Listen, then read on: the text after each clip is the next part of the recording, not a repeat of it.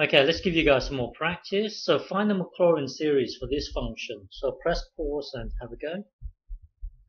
Okay, so the trick to doing this is to realize that um, when you differentiate this twice, uh, it will then give you something very similar to this. So the trick is to uh, to differentiate this twice. So rewrite this as um, rewrite this as 1 minus x to the power of minus 1. So uh, so rewrite this as as 1 minus x as 1 minus x to the power minus 1. And when you differentiate it, this will come down. That will then give you this negative 1. The bubble stays intact. The power gets minus by 1. And then you times the derivative of the bubble itself. That will then give you this. So minus 1 times minus 1, blah, blah. This will then give you this. Now, so, so when you differentiate it once, it will give you this. Differentiate it again, it will give you this. Now this is what we want. Um, we want basically we want half of this. So um, well, if you differentiate this twice, it will give you something similar to what we want. So we later on we can manipulate this. So let's start again. So make use of this. Hang on. So so make use of this. So uh, so one over one minus x will be this. So hang on. So one over 1 minus x will be this. So start out with this. Um, so differentiate this. That will then give you this. Differentiate this. That will then give you this. Remember, you start at um, here is zero. You start at once uh, uh, at um, at one once you differentiate it.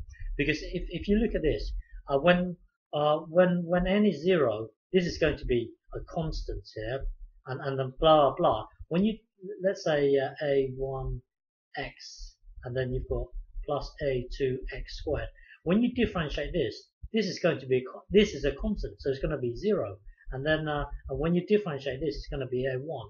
So uh, so you ignore this. So rather than starting at n equals zero, you start at, at here. You start at here because this this thing here is going to be zero. Well, anyway, when you differentiate it, you start at one. Okay, now now, so, so, so here differentiated, that will then give you this.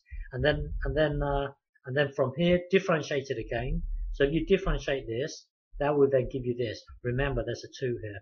And then differentiate this, that will then give you this. And again, remember, here you start at 1, here you start at 2. So, uh, so that will then give you this. But because we want, um, because we want 1 over, because we want 1 over 1 minus x to the power 3, we would need to um, divide both sides by 2.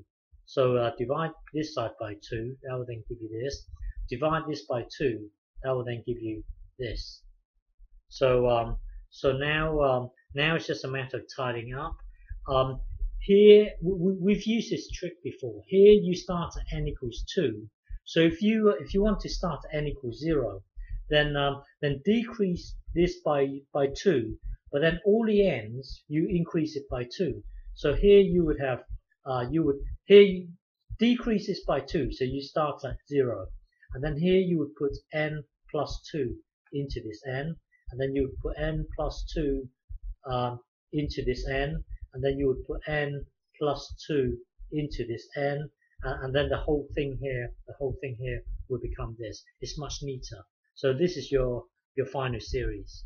Okay?